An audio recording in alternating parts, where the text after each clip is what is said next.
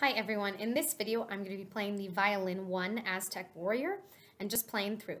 I will count to 4 out loud and then I'm going to count to 8 very quietly for my two measures of rest before measure 3.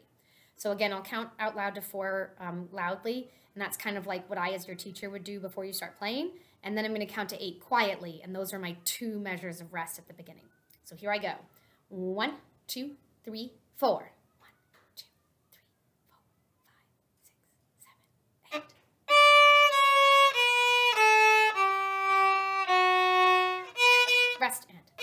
Rest and, rest and, rest and.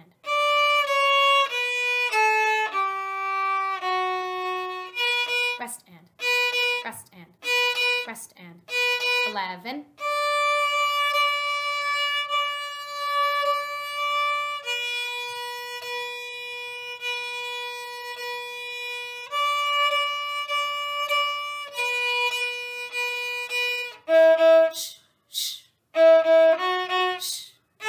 39.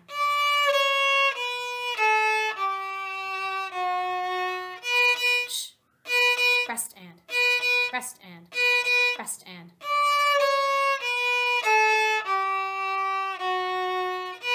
Rest and, rest and, rest and, rest and.